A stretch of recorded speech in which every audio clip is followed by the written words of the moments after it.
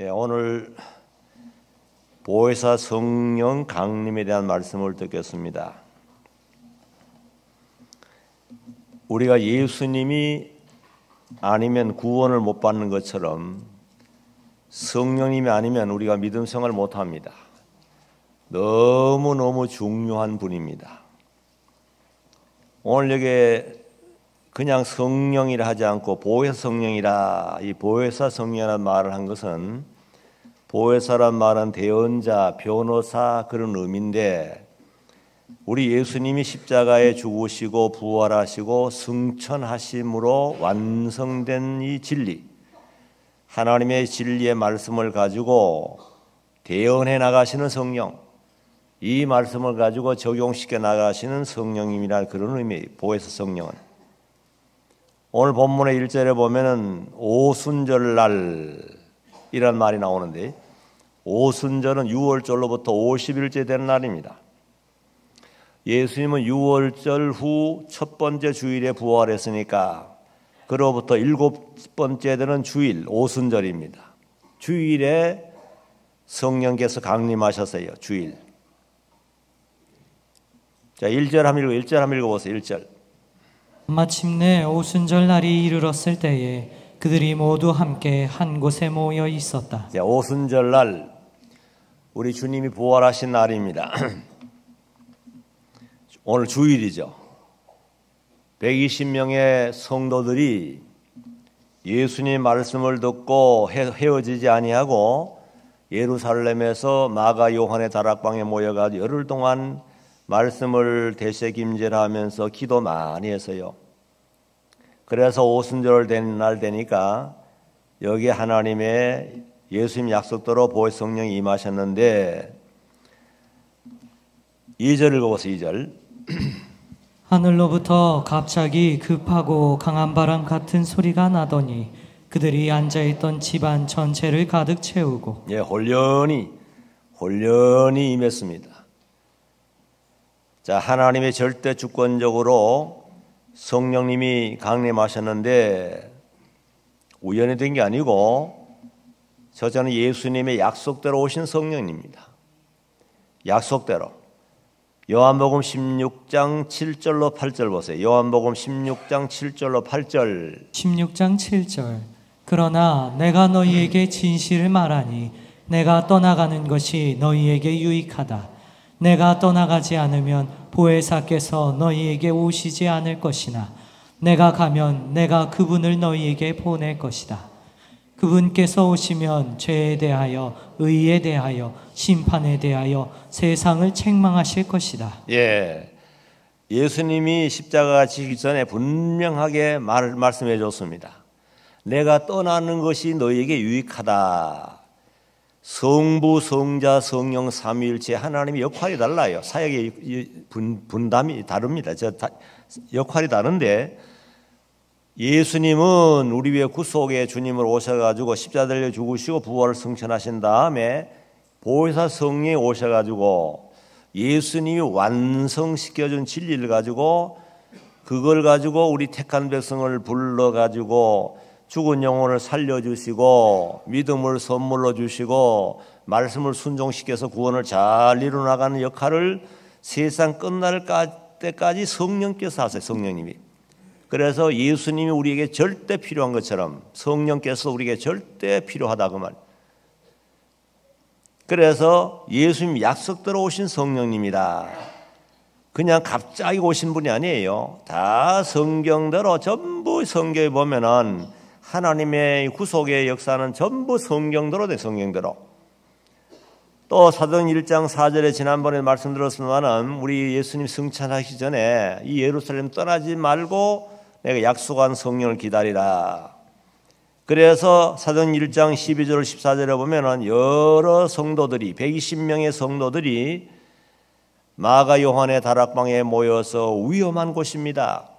예수님을 죽였던 곳이기 때문에 죽인 곳이기 때문에 언제 위험이 닥칠지는 모르지만 주의 말씀에 의지해서 들어오지 않고 담대히 그곳에 모여가 기도했습니다. 열흘 동안 때가 되매 오늘 여기 보니까 약속대로 보혜사 성령이 임했는데 먼저는 하늘로부터 임했다. 하늘로부터. 약속하신 성령인 동시에 하늘로부터 임했다. 출처 하늘이에요. 속화되지 않은 세상, 속화되지 않은 곳을 말합니다. 거룩한 곳. 성령께서 거룩하십니다. 거룩한 곳에서 오신 분이. 그 다음에 또 보니까 성령님의 본질과 사역의 상태를 보여준 표상이 나타나는데 여기 보니까 급하고 강한 바람 같은 소리가 있어 그랬어요. 자, 성령님의 본질과 사역의 상태를 급하고 강한 바람으로 표현했습니다. 바람. 성령님이 바람이 아닙니다. 성령은 성부, 성자, 성령 삼일체 가운데 한 분이세요. 그런데 바람으로 표현 바람. 성령의 강림이 급하고 강한 바람 같은 소리라. 요한복음 3장 8절을 보니까 바람이 임의로 불매 내가 그 소리를 들어도 어디서 오며 어디로 가는지 알지 못하니 성령으로 난 사람은 다 이와 같으리라 그랬습니다. 이 말은 무슨 말이냐 하면은 바람이 누구에 의해서 움직이지 않습니다. 우리가 바람을 뭐 대통령이 동쪽으로 불어라 서쪽으로 불어라 하지 않잖아요. 임의로 막 부는 거예요. 뭐 동쪽으로 서쪽으로 마음대로 하는 거예요. 성령 역사도 마찬가지입니다. 성령님의 절대 주권적으로 역사하는 것이 이 바람 같은 역사라고 말입니다. 성령께서 누구에 의해서 좌우되지 않습니다. 성령님의 절대 주권적으로 역사한다. 그런 의미고 또 하나는 뭐냐면 바람이 보이지 않잖아요. 바람 눈에 안 보이는데 분명히 바람이 있습니다. 바람 있지요? 바람 없다는 사람은 좀 이상한 사람이죠. 그럼 바람이 있으면 눈에 보았느냐 하면 또 못 봤다는 거예요. 그러면 눈에 안 보인다고 없느냐? 아니잖아요. 눈에 안 보이지만 보이는 굉장히 많습니다. 공기도 안 보이잖아요. 보이지 않기 때문에 없다. 이 어리석은 사람이에요. 성령 눈에 안 보이지만은 분명히 계심을 뭐로 아느냐? 바람처럼 이루어놓은 결과를 보고 또 역사하는 면을 보고 안다 그 말이. 바람 그렇잖아요. 바람이 우리가 노래 듣잖아요. 산 위에서 부는 바람 무슨 바람이에요? 시원한 바람, 시원한 바람이 산에 올라가느라면 얼마나 덥고 땀이 쫙 나는데 아 산에 산상에 올라가면 바람이 아주 시원하게 불면 아이고 시원하다 한결같이 모두가 그렇게 말할 겁니다. 무엇이 그렇게 시원하게 만들어 줍니까? 바람이죠. 눈에 안 보이는데 분명히 바람이 우리 살갗을 시원하게 만들어 있기 때문에 또 먼지를 일으킨다, 나뭇가지를 흔든다, 전부 바람이 있다는 증거 아닙니까? 오늘 우리 성령께서 분명히 눈에 안 보이지만 하나님께서 영으로 우리 심령 속에 와 계시거든요. 그런데 보이지 않지만 분명히 나타납니다. 뭐로 나타나느냐? 자, 성령께서 성경에 보니까 우리 영혼을 거듭나게 만든다. 죽은 영혼을 살려주는 역사를 성령이 합니다. 말씀과 살린다 그랬잖아요. 살아난 영혼. 또 거기다가 에베소 2장 8절에 보니까 믿음을 선물로 주신다. 믿음을 선물 줍니다. 믿어지는 거죠. 자, 분명히 과거에는 안 믿어졌어요. 예수님이 구조로 믿어지지 않고 천국도 안 믿어졌습니다. 봤나, 봤나, 보여달라 그러면서 말이야. 안 믿었어요. 어느 순간에 믿어지거든요. 예수님 나의 구주로 믿어지고 천국도 믿어지고 말씀이 하나님 말씀 믿어지 믿어지거든요. 믿어지는데 또 안 믿어질 수 없는 거예요. 아, 믿어지게 하는데 어떻게 안 믿어집니까? 누가 그렇게 합니까? 성령님이 하시는 거예요. 눈에 안 보이지만 우리의 영혼을 살려주시고 믿음으로 선물을 주셔가 잘 믿어지도록 말씀. 자, 공기가 안 보이지만 우리 숨 쉬는 걸 보니까 숨, 숨 쉬고 숨 쉬며 사는 걸 보면 공기 있잖아요. 성령님 안 계신다. 아, 눈에 안 보이니까 안 계시다 하면 안 되는 거예요. 내가 예수님 믿어지는 거 보니까 어떻게 예수님 믿어지겠어요? 2000년에 오셨다가 천국 가신 분인데 눈에 봤습니까? 뭐 어떻게 우리가 믿어지겠어요? 그런데 믿어지거든요. 나를 위 십자 달리 죽어주신 거, 부활하신 거, 승천하신 거, 전 믿어지거든요. 성경이 하나님 말씀 믿어지거든요. 누가 믿음 주신 거죠? 하나님이, 성령 하나님 주신 거요.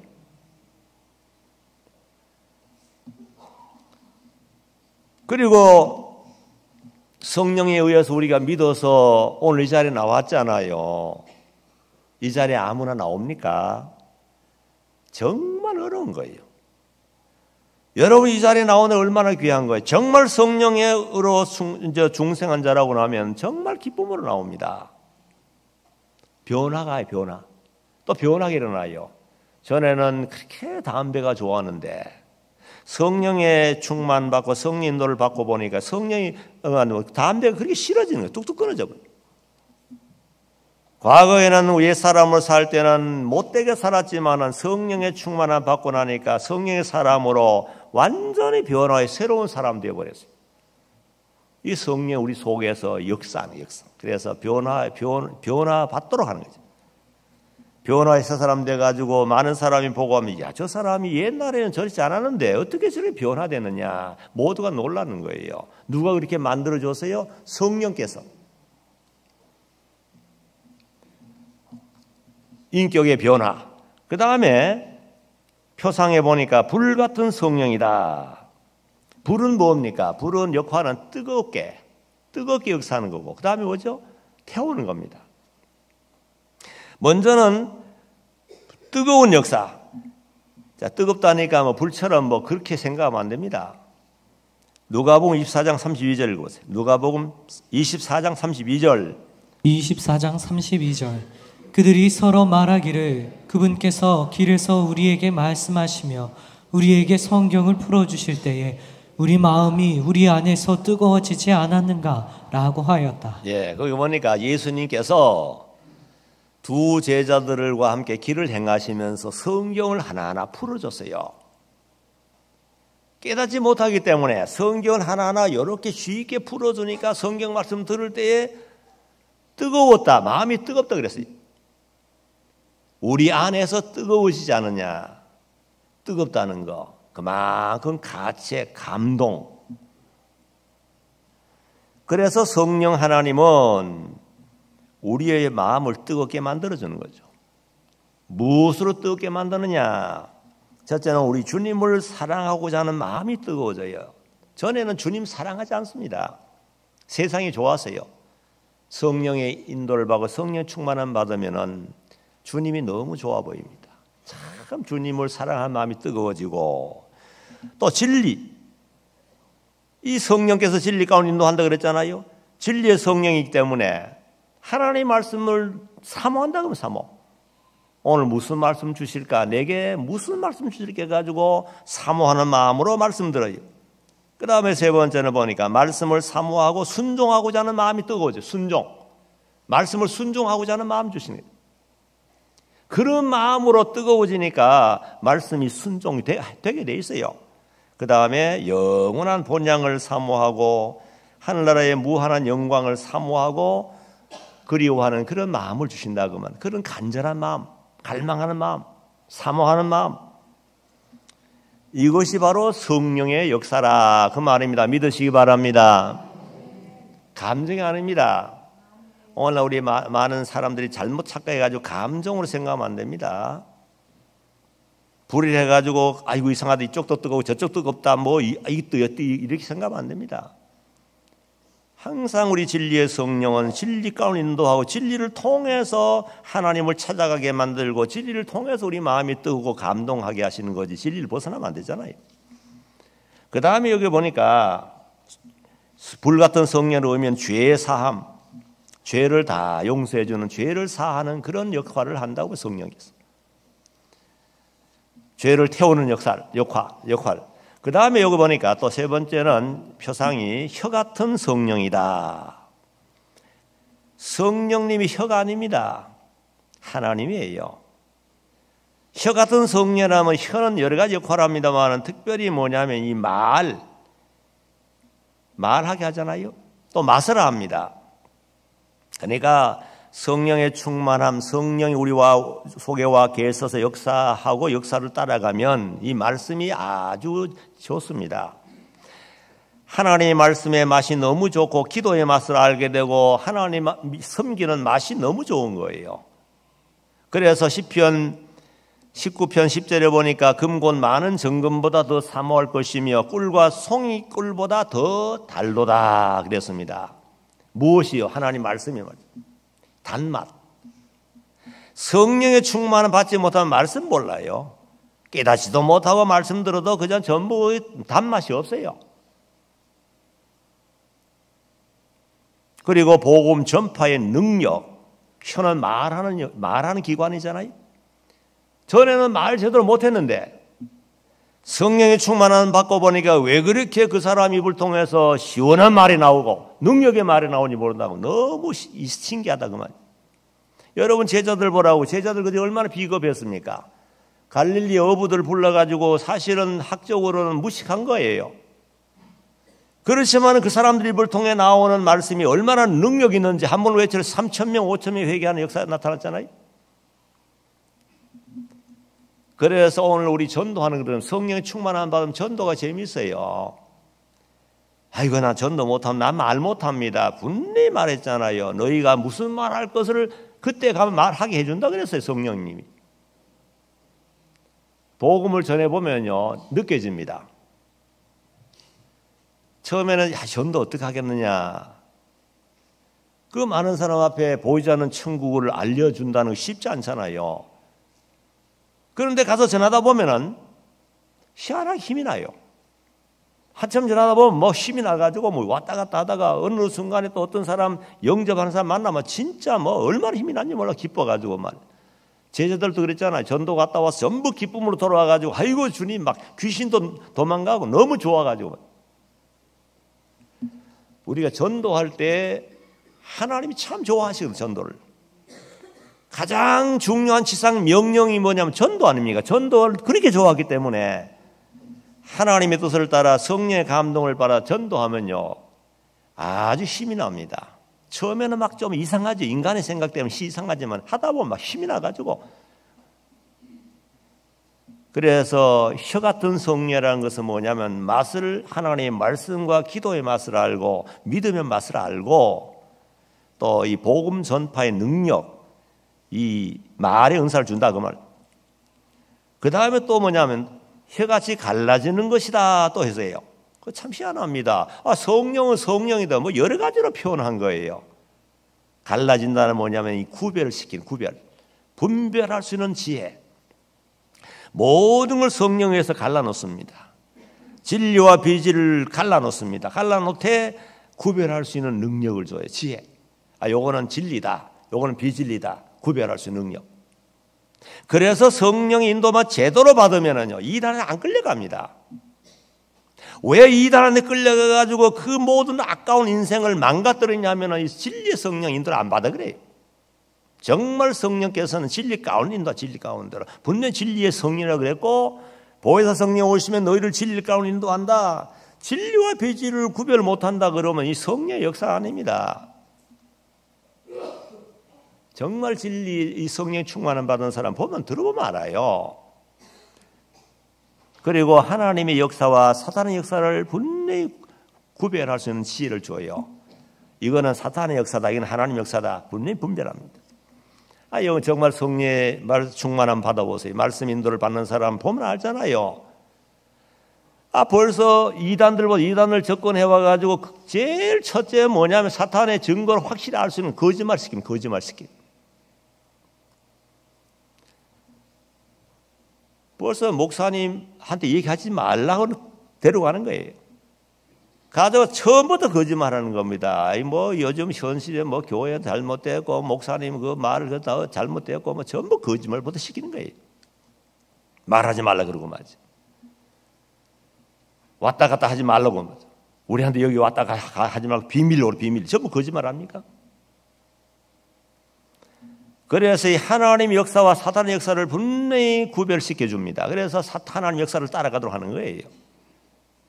성령의 충만함 받으면 분명히 그런 그렇게 우리 이제 지혜가 생깁니다. 그 다음에 또 하나 뭐냐 신분 인본주의. 정말 하나님 중심이냐 사람 중심이냐 이 성령 역사 충만함 받으면 분명히 구별할 수 있습니다. 성령에서 구별시키는 거예요. 이 완전히 갈라놓습니다. 또 세상 운동과 천국 운동. 요즘 기독당 운동하는 기독당 저는 반대입니다. 왜 반대느냐? 역사적으로 보면은 이 종교가 세력화할 때는 분명히 걷잡을 타락했어요. 피팍을 받을 때 교회가 살았습니다. 권력을 가지고 세상을 지배하고 권력을 가지고 행사할 때는 엄청나게 교회가 타락했어요. 세계 역사가 증명합니다. 그래서 무슨 기독교 당에 우리 뭐, 조, 뭐 개혁한다, 뭐 정치를 개혁한다, 어림도 없습니다. 그 속에 들어가 보세요. 같이 뒹굴어 가지고 안 됩니다. 신본주의, 인본주의, 세상운동과 천구운동 분명히 갈라놔야 됩니다. 정교 분리 원칙입니다.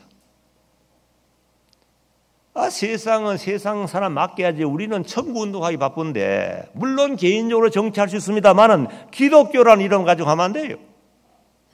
저는 반대입니다. 아, 성경적으로 제가 말하는 거예요.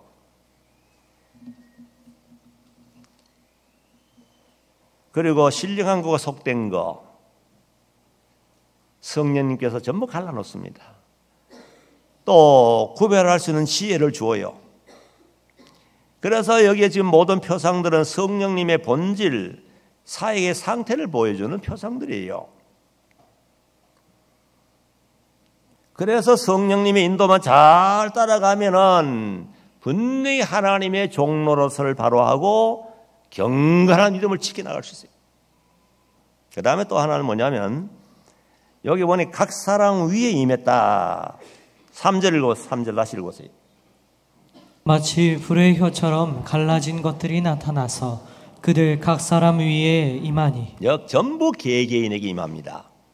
뭐 여러 사람 단체적으로 뭐 이런 식으로 아니고 성령님께서는 천재 충만해 계시지만은 모든 개개인 임해 가지고 죽은 영혼을 살려주시고 중산 영과 함께 계시는 성령이에요. 믿으시기 바랍니다. 뭐 누구 덕분에 가는 게 아니에요. 전부 구원은 개개인 중 개인 문제입니다. 하나님과 자기 개인 관계. 그래서 다락방에 모였던 120명의 신도들에게 전부 각각에 임해 가지고 놀라운 변화 역사를 일으켰습니다. 또 여기 임한 성령은 떠나지 않습니다. 임하여 있더니 떠나지 않아요. 성령께서 왔다가 갔다 하는 게 아닙니다. 그러면 큰 문제입니다. 분명히 로마서에 보면은 성령께서 우리 속에 내주하 계시되죠? 계시나 그랬죠? 성령께서 우리 속에 계시면서 어떻게 한다 그래서 기도한다 그랬죠? 기도하는데 성령께서 거기 뭐라 그랬어요? 기도하되 기쁘게 막 감사하면서 기도한다 그랬어요? 탄식하면서 탄식하면서 성령 하나님의 영, 성령께서 우리 속에 계시면서 우리 꼴을 보고 탄식한다. 그럴 수밖에 없는 것 같아요. 여러분들이 성가대 들어오니 가운을 입고 이렇게 이쁘게 앉았지만 여러분들의 마음이 여기에 전부 비춰준다 하면 어떨까? 숨김없이 생각 전부 비춰준다 하면은 얼굴 들 수 있을까요? 아마 여기에 뭐 아주 성녀도 있어 성자 성녀 있겠지만 대체로 보면은 얼굴 못 들 정도로 부끄러움이 굉장히 많습니다. 사람 볼 때도 그런데 하물며 하나님께 성령께서 우리 속에서 세세히 다 아시잖아요. 그래 너무 탄심해 가지고 탄식하면서 우리 위해 기도해 주시는 성령이라는 거예요. 탄식하면서. 야, 이거 뭐 우리 자신 봐도 얼마나 한심한데 하나님 우리 자신을 볼 때 얼마 우리를 볼 때 얼마나 한심하겠어요. 그래서 탄식하면서 기도하신다. 성령으로 말미암아 죽었던 영을 살려 주시고 믿음을 선물로 주고 성령이 아니면 우리는 천국 못 갑니다. 그래서 성령을 회방하는 죄는 영원히 사함받지 못한다 그랬어요. 성령으로 믿어지니까. 믿게 하는 성령을 회방하고 거부하면 어떻게 구원받겠어요? 이 성령님이 그렇게 중요한 거예요. 그렇게 믿으시기 바랍니다. 그래서 성령 얼마나 좋으신지. 그 다음에 또 보니까 사절도 보세요. 그들이 모두 성령으로 충만해졌고 성령께서 그들에게 말하게 하시는 대로 다른 방언들로 말하기 시작하였다. 또 여기 보니까 다 성령의 충만함을 받고 다른 방언으로 말하니라 그랬습니다. 그 성령 충만 말이 성령 충만. 성령 충만이 뭡니까? 성, 성령님의 사람 되어서 성령님의 인도와 주장을 온전히 받아 나가는 것이 성령 충만인데 우리가 이 성령 충만 온전히 받아서 계속하기 참 힘듭니다. 어느 순간 성령 충만했던 것 같은데 조금은 또 약해져 버려요. 충만한 가운데 가지 못하고 말이죠. 정말 우리가 성령 충만을 받으면 말씀을 다 순종하는 사람 되어야 되는데 순종 어떻게 하겠어요? 물론 우리에게 내게 해당하는 성경 말씀 순종이죠. 그렇지만은 항상 100% 순종 못하 어느 순간에 할 수 있죠. 그러나 조금 지나다 보면 또 순종 못할 때 있습니다. 이 우리 약하지요. 그래서 회개가 필요하고 기도가 필요한 거 아닙니까? 여기에 성령 충만한 받으면요. 하나님과 사람 앞에 전부 인정받습니다. 여러분 성령의 아홉 가지 열매겠죠? 성령의 아홉 가지 열매를 가만히 보라고요. 분내 그 다음에 뭐래요? 성령 아홉 가지만 한 다음 이 성령 아홉 가지 이 귀한 법을 어느 나라에서도 금할 법도 금하지 않다 그랬어요. 누가 싫어하게 성령 아홉 가지를 전부 좋아하잖아요. 아마 북한에 가서도 그 성령 열매를 맺는 사람은 죽이지 않을 겁니다. 오히려 좋아할 거예요. 정말 성령의 충만함 받아가지고 성의 열매를 맺고 하나님의 뜻대로 잘 살아가면 하나님께 영광이 되고 모든 주변 사람에게 칭찬 듣고 박수를 받는 거지 절대로 손가락이 당하지 않습니다. 그래서 이 성령 충만이 중요한데 성령 충만해 그 무슨 물처럼 양처럼이 아닙니다. 성인도를 잘 받는 걸 말하는 거죠. 얼마나 좋습니까? 오늘 주일을 성수해라. 예. 형제 사랑해라. 예. 전부 순종 이 성령 충만이에요. 거짓말 하지 말아라. 예. 아, 참말 하는 거예요. 진실. 부부 안에 서로 사랑해라. 예. 남편들 아내를 제 몸처럼 사랑해라. 예. 아내들아 자기 남편을 순복해라. 예. 형제 서로 우애해라. 예. 남을 대접하라. 예. 전부 예. 그렇게 살면은 뭐 천국이 천국. 얼마나 좋겠어요. 우리가 성령 인도를 온전히 못 받기 때문에 문제가 자꾸 생기는 거예요. 그래서 우리가 성령 충만함 받아가 순종 못하기 때문에 회개하고 또 도전하고 도전하면서 하다 보니까 조금 조금 자라나는 거예요. 아예 순종 못한다고 포기하면 안 됩니다. 그 다음에 또 보니까 다른 방언으로 했다. 다른 방언. 다른 방언을 했다 그랬어요. 그래 방언에도 종류가 세 가지 있습니다. 첫째는 알지 못하는 이 언어 말. 고린전서 14장에 보면 있습니다.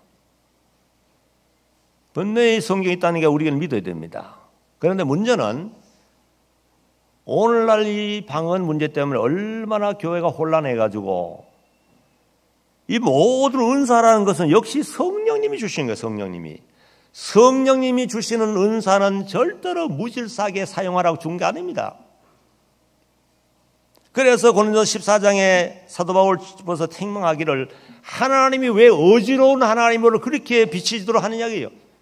하나님 어지러움이 하나님 아니라는 거 질서의 하나님이에요. 그런데 방언한다고 날려 떠들어가지고 온통 교회 얼마나 시끄러웠었습니까? 이제는 조용해졌어요, 많이. 그 전 바람이 같아요, 바람. 지나가는 거예요. 오늘 저녁에도 많은 바람 지나가는 거 지나가는 거. 그런 말 있잖아요. 어떤 장로님이 방언을 못 받았대요. 뭐 그 시기에 방언, 방언이죠. 그래가지고 다 방언 하나 떠드는 거예요. 다 방언 하나 떠드는 거예요. 장로님 방언 못하니까 어떻게 해요? 너무 부담스러운 거예요. 방언도 못한 장로라고 말이지. 그래가지고 야, 이 교회에 있어야 될지 떠나야 될지 굉장히 고민스러웠다고 그렇게 하더라고요. 그 물어봅시다. 성경대로 분명 고린도 12장을 보면 다 방언하겠느냐 하는 말은 뭐예요? 다 통역하는 은사를 받겠느냐? 다 병유 은사를 받겠느냐? 다 방언하겠느냐? 다 능력해 가겠느냐? 다 뭐예요? 믿음 또 병고시 은사 다 하겠느냐 하는 말은 무슨 말이에요? 다 안 한다 그 말이에요. 분명히 고린도서의 성경에 보면 어떤 얘기는 이런 은사 어떤 사람이 여론 은사, 우리 모양이 다른 것처럼 하나님께서 교회를 세우기 위해서 각각 다른 은사를 나눠준다고 분명히 말했는데 다 받아야 된다고. 성경 다 아니라 그랬는데 이 성경대로 가르치면 문제 없어요. 그래서 방언을 만약에 모르는 방언 받았다면은 성경대로 통역관 있으면은 통역 한 받아 보아라. 요즘 통역관 없어요. 저마다 방언한다고 떠들어가지고 얼마나 혼란스러웠어요. 그래서 그런 거 다 해본 사람들 결과가 뭐냐면 결론이 뭐냐면 이게 안 되더 안 되겠다라는 거예요. 결국에는 성경 돌아가자, 성경 돌아가자는 운동하는 거예요 지금. 그러면 만약 모르는 방언을 받았다. 진짜 방언인지 정말 진짜 방언이 통역하는 사람 받아봐야 돼요. 통역관도 엉터리 있어요. 그래서 만약에 진짜 방언 받았으면 고린도 14장 27절 28절 말씀대로 교회에 하려 그러면은 통역관을 세워가지고 두세 사람 차례대로 방언하고 통역을 해서 모든 사람 알게 하라는 거예요. 그러지 않으면 자기와 및 하나님과 은밀한 중에서 남한테 방해 안 되도록 그렇게 하라는 그 얼마나 좋아요. 그러면 되잖아요. 그러니까 이 성령님으로 통해서 주시는 모든 것은 하나님께 영광이 되고 교회 전체 유익이 돼야 돼요. 절대로 질서를 혼란케 하지 않습니다. 세상의 인륜, 인륜 도덕도 그런데 남한테 피해 주지 않잖아요. 고린도 14장 머리 다 방언하면 믿지 않은 사람이 믿어 온 사람 오면 미치다 하지 않겠느냐? 왜 그런 말 했겠어요? 이렇게 성경의 명문을 해서 손에 들려줬는데도 성경을 무시해버리고 마음대로 하는 마음대로 오직하면 개도 방언하는데 사람 방언 못한다 얼마나 야단해가지고 방언하려고 하면 미치게 미쳐요. 겨울에 추운 겨울에 막 참을 끼얹어가지고 어, 떨면서도 방언 배우고 말이지. 할렐루야 하면서 막 그냥 빨리빨리 해가지고 배우게 만들고 이게 무슨 아 성령님 그렇게 해서 은사 주었어요? 아, 시, 사도 시대 보라고요. 말씀 듣는 가운데 하나님께서 성령을 주었어요. 성경의 원리대로 하면 모든 게 간단하고 질서가 정령한데 자꾸 성령을 떠나다 보니 혼란스러워지고 욕을 먹고 이방대 욕을 먹고 말이죠. 성경대로 하면 모든 것이 제자림 제자리 원리 원칙이고 하나님 앞에는 사람 앞에 욕 안 먹습니다. 그리고 외국말. 오늘 여기 본문 외국말이 외국말. 이거는 사람이 알수 있는 말인데 희한하게도 120명의 성도들이 거기서 은혜를 받아가지고 복음을 전하는데 여기에 여러 지방 사람이 온지 오순절을 명절을 지키기 위해서 수많은 사람 모여하는데 여기 보니까 기록된 걸 보니까 여러 나라에서 왔어요. 그절로 11절까지 보니까 15개국, 5개 지방에서 15개 여러 지방의 말의 언어가 다르는 사람들이 왔는데 희한하게도 전부 자기 말로 들리는 거예요. 깜짝 놀란 거예요. 이게 하나님의 특수 역사예요. 성령의 특수 역사예요.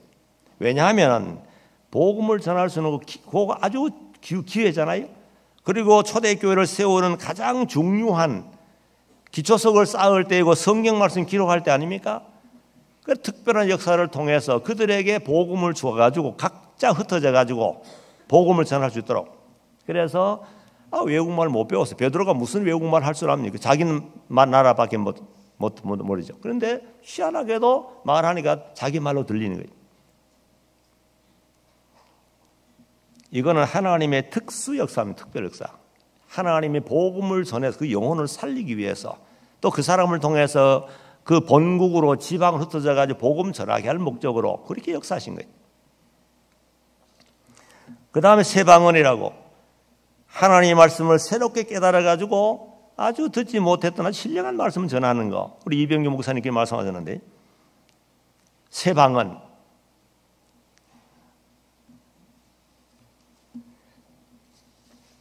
그리고 7절로 8절 하면 7절로 8절 그들이 놀라 신기하게 여기며 말하였다. 보아라, 말하고 있는 이 사람들은 모두 갈릴리 사람들이 아니냐.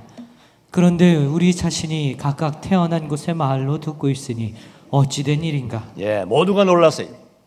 모두가 놀란, 놀란데. 9절로 11절로 뭐 10에, 15개 지방 사람들. 뭐, 나라도 있지만은 지방도 있고. 그 다음에 중요한 것은 뭐냐면 여기도 보면 있습니다. 12절로 13절 보세요. 그들 모두가 놀라 어리둥절하여 서로에게 말하기를 이것이 도대체 어찌된 일인가 하였고 자, 너, 예, 그다음 또요. 다른 이들은 그들이 새 술에 취하였다라 하고 조롱하며 말하였다. 자, 지금 굉장히 중요한 때 아닙니까? 초대 교회를 기초를 닦는 때이고 예수님이 부활 승천한 다음에 보혜사 성령을 통해서 강하게 역사하는 이런 지금 시점인데 여기서 두 종류의 반응이 나타납니다. 한 종류는 뭐죠? 한 종류는 참 좋아가지고 말이, 야 성령님 역사한다가 좋아가지고 막 영접하고 믿고 좋아가 날막 너무 기뻐하고 하는데 또 한편은 뭐라 그랬어요? 새술에 취했다. 항상 그렇습니다. 이 세상이 존재하는 항상 두 종류예요. 하나님의 진리의 말씀을 던지면 그걸 잘 받아가지고 믿습니다가 아멘을 받아들인 사람이 있는가 하면 항상 각도를 삐뚤게 해가지고 비판하고 조롱하는 이런 무리가 있어요. 새술에 취했다. 취했다 그 말. 얼마나 안타깝습니까? 지금 성령님이 역사해가지고 오셔가지고 그들에게 구원의 은총을 베풀어 주려 엄청난 역사를 하는데 술 취한 사람들이 저거 정신없이 행동한다. 술 취했다. 이렇게 조롱하는 거죠. 우리는 어떤 편에 서야 되겠어요? 우리는 어느 편에 서야 되겠나 한번 생각해 보라고요. 우리는 언제든지 하나님 편에 서야 되고 성령님 편에 서야 되고 말씀을 잘 받아들여 가지고 아멘하고 믿고 순종하는 편에 서야지. 세술에 취했다고 조롱하는 사람 되면 안 됩니다. 우리 주님 뭐라고 말씀하시겠어요? 네 믿은 대로 될지어다. 믿은 대로. 이건 간단한 문제예요. 자, 성령님께서 예수님 말씀대로 오셔가 역사하는 걸 보라고 이 모든 역사를 성경에 기록해 놓은 것은 오늘날 우리가 믿음 생활할 때에 잘못되지 않도록 그래서 전부 구구절리 구체적으로 여기 기록해 놓고 또 설명해 주잖아요. 성령은 감정이 아닙니다. 물질이 아닙니다. 하나님입니다. 하나님. 전능하신 하나님께서 이렇게 역사한다는 면을 보여주기 위해서 요, 여기에 전부 상징적으로 표상으로 다 기록해 놓은 거 아닙니까? 바람처럼 또 혀처럼 또 갈라지는 거 여러 가지 이렇게 표현해 놓은 것은 오늘날 우리 세상에서 믿음 생활할 때에 이런 성령 역사를 분명히 분별해 가지고 바른 깨달음으로 바로 믿어야지 잘못되게 깨달아 가지고 성령 역사를 잘못 알아 가지고 얼마나 많은 사람이 미혹된지 모릅니다. 성령은 진리의 성령, 진리. 누구 어떤 성령이라고요? 분명히 요한복음 16장 있잖아. 진리의 성령 오시면 우리를 어디로 인도한다 그랬어요? 진리 가운데로 인도한다고. 하나님의 말씀을 떠나 성령 역사하지 않습니다. 어떤 분 그랬다 그러잖아. 이거는 뭐좀 좀 유치한 그 얘기입니다만은 어떤 부산에 옛날에 그런 얘기 있었는데 그게 좀 광적으로 믿는 사람인가 보죠. 아 어떤 여자가 있는데 자기 부인이 있는데 부인 어떤 여자가 자꾸 그 자기를 사모한다는 거예요. 사모해가지고 자꾸 뭐 마음이 몸이 끌린다. 감동이 온다는 감동. 저 여자가 그 과부를 과부인데 너무 자기를 사모하고 뭐 끌린다는. 그래 부인한테 의논했대. 내 마음이 자꾸 감동이 오는데 어떻게 하면 좋겠느냐고 말이죠. 그래서 어떻게 어떻게 어떻게 했겠어? 그 부인이 또 이상한 사람이에요. 아유 성령에 감동하시면 그러면 같이 하룻밤 자야, 자야지. 그래서 하룻밤 잤다는 거예요. 그럼 어떻게 해요? 성의 역사를 순종합니까? 마귀 역사를 순종한 거예요. 아니잖아요. 그렇잖아요. 분명히 성령에 의하면 말해 성령의 성령께서 말씀을 통해 한다고 한다면 분명히 남자가 부모를 떠나 여자와 합하여 한 몸을 이룬다. 한 몸 된 부부입니다. 한 몸의 관계에서 우리가 사랑을 하고 살아야지 이거 이제 이상하이 음행한 음란한 마음이 들어가지고 그 감동을 해가지고 말이지. 이 여자 따라고 저 여자 따라가는 그런 마귀 역사예요. 하나님은 절대로 이혼하는 걸 원치 않습니다. 싸우는 거 원치 않아요. 항상 하나님께서는 사랑하라고 그러시고 겸손하라 그러시고 서로 존경하고 사랑하라 그러지 절대로 하나님은 물고 찢고 싸우라 하지 않았습니다. 비록 남편이 좀 못난 남편이라도 하나님이 내게 주신 남편이고 우리 가정의 가장이고 머리잖아요. 그러면 잘 받들어야죠. 절대로 무시하면 안 됩니다. 아무리 여자가 똑똑해도 무시하면 안 돼요. 무시하는 자체가 뭐냐면 하나님의 질서를 파괴하는 거예요. 이 성의 역사 아닙니까? 남편들 아내를 제 몸처럼 사랑하라. 사랑 못한 걸 회개해야 돼요. 사랑해야 성령의 인도를 받는 거 아닙니까? 자기 몸된 아내도 사랑하지 못하면서 누굴 사랑하겠습니까? 오늘 우리 성령님을 오해하면 안 됩니다. 자기 감정에 좌우되면서 성령의 감동이라고 하면 안 돼요. 어떨 때는 내가 싫지만은 시키는 거예요. 원수도 사랑하라 그랬잖아요. 성령님이 그런 성령입니다. 성령님도 따라가면 다 좋아지는 거예요. 그래서 정말 우리 하나님께서 얼마나 감사한지 예수님 보세요. 우리 벌어두지 않으시려고 말죠. 인자 대신 예수님께서 구속을 완성한 다음에 구름 타고 승천하시면서 우리를 고와 같이 벌어두지 아니하시고 성령님을 보내가지고 세상 끝날 때까지 우리를 인도해 나가잖아요. 이 성령이 얼마나 좋습니까? 알고 보면 너무너무 좋으신 성령이에요. 그래서 항상 성령 인도를 잘 받아서 선한 마음으로 주님을 기쁘게 해드리고 우리 주님 부르신 그날까지 성령 인도를 따라서 진리의 말씀의 세계에서 구원을 잘 이루어 가지고 우리 모두가 주 앞에 설 때 영광스러운 구원 받는 모두가 되길 바랍니다. 아멘 기도합시다.